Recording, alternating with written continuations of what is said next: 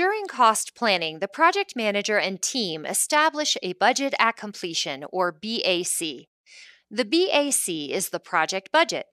As the project progresses, we learn more about our actual costs and project performance.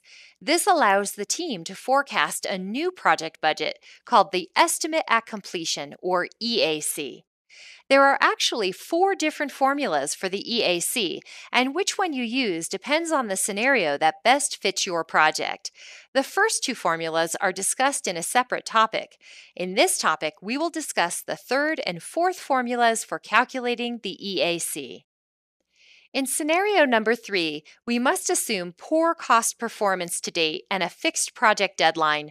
If this is the situation with your project, you will use the one EAC formula that includes both CPI and SPI.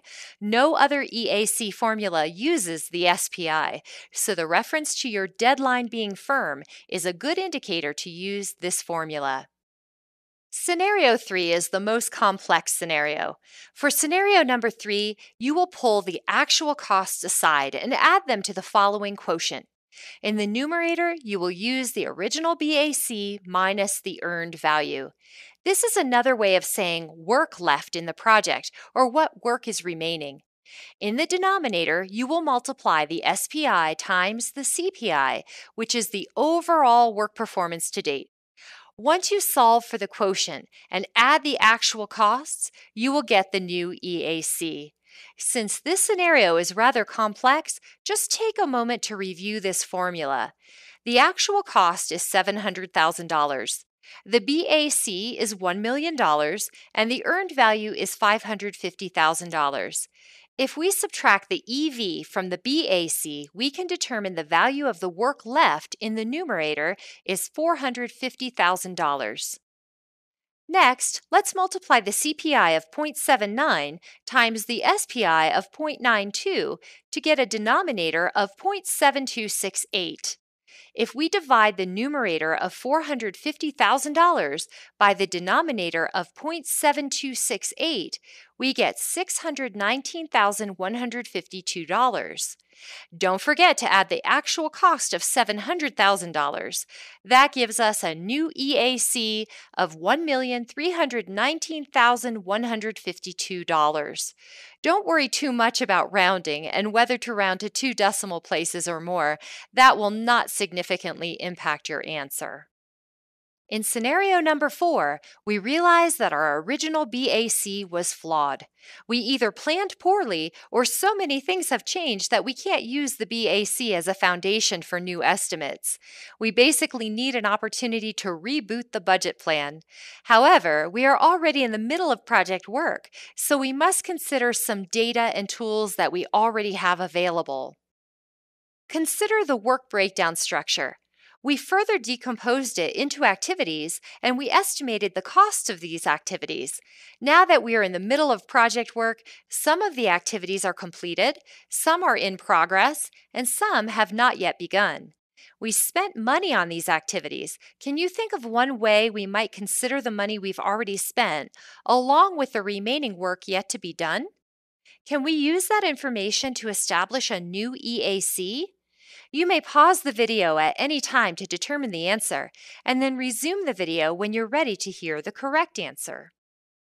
If you said something like, we should consider our actual costs so far, and then add the estimated cost for the remaining activities, you would be right. For this scenario, the correct formula for the EAC is to take the actual cost and add the estimate to complete for the remaining activities. If an activity is in progress, you would count both the actual cost for the work completed so far and the estimate to complete that activity. Let's try this example. Our original budget for this project was $35,000 but we already have $21,500 in actual costs, and it is clear that our original estimates were incorrect.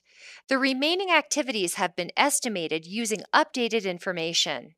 Activity A is already complete, and the actual cost was $12,000. We will not include Activity A in our ETC or estimate to complete since there is no remaining work for this activity. Activity B is now estimated at $10,000 and is 50% complete. We are counting $5,000 for the completed work in our actual costs, but we will also have to count 50% of the $10,000 yet to be completed for this activity. Therefore, the ETC for Activity B is $5,000. Activity C is estimated at $8,000 and is 25% complete. Activity D is estimated at $5,000 and is 50% complete, and Activity E is $10,000 and has not been started. Take a moment to perform a bottom up estimate of these activities to determine what the ETC should be.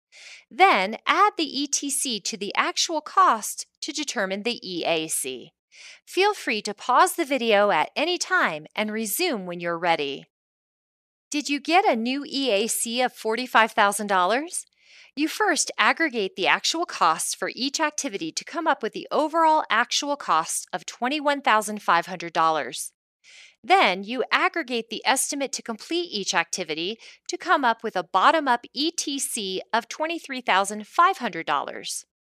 Add the actual cost to the ETC, and you should come up with an EAC of $45,000. In summary, an estimate at completion, or EAC, is a new budget forecast based on what we have learned and experienced with our project to date. We have covered the remaining two of the four possible scenarios for determining the EAC.